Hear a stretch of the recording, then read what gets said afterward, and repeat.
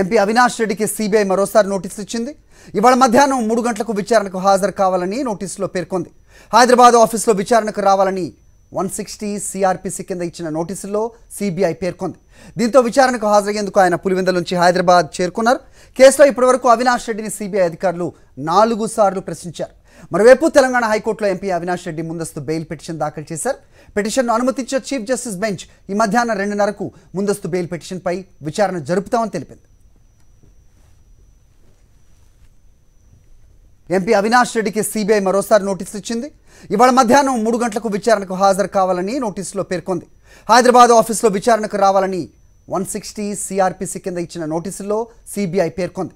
దీంతో విచారణకు హాజరయ్యేందుకు ఆయన పులివెందుల నుంచి హైదరాబాద్ చేరుకున్నారు. కేసులో ఇప్పటివరకు అవినాష్ రెడ్డిని సిబిఐ అధికారులు నాలుగు సార్లు ప్రశ్నించారు. మరోవైపు తెలంగాణ హైకోర్టులో ఎంపీ అవినాష్ రెడ్డి ముందస్తు బెయిల్ పిటిషన్ దాఖలు చేశారు. పిటిషన్ను అనుమతించే చీఫ్ జస్టిస్ బెంచ్ ఈ మధ్యాహ్నం రెండున్నరకు ముందస్తు బెయిల్ పిటిషన్పై విచారణ జరుపుతామని తెలిపింది.